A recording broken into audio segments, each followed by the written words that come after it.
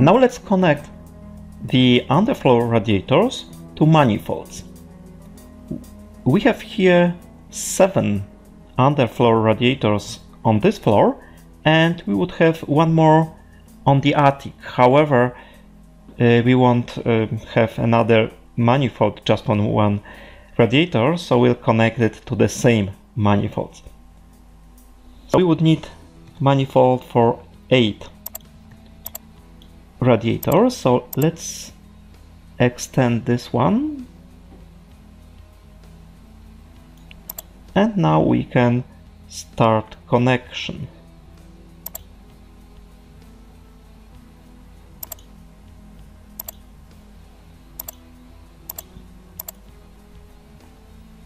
I have connected the first one. Now let's go to the second one.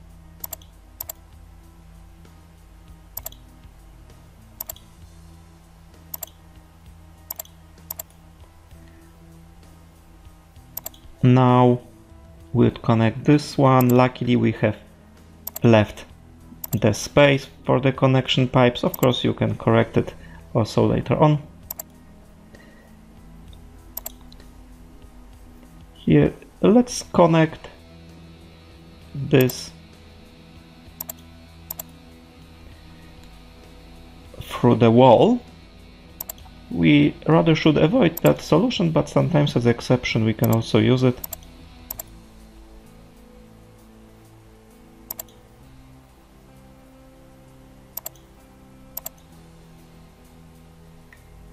Okay, so in this way we have connected the radiators and now let's prepare also connection for the radiator in the attic. So we would put another riser here.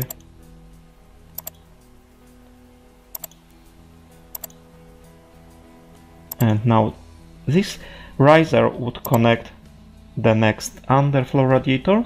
So now let's copy it upwards. And this is the bathroom in the attic so let's insert also an underfloor radiator here. So first let's go to the room zones mode that would enable us selecting the room, this bathroom in this case, and now we'll be able to insert the underfloor radiator automatically. And now we can connect it to the riser. So now we can see the system also in the axonometric projection. We can change a little bit angles to make it more clear. So this is our system at the moment.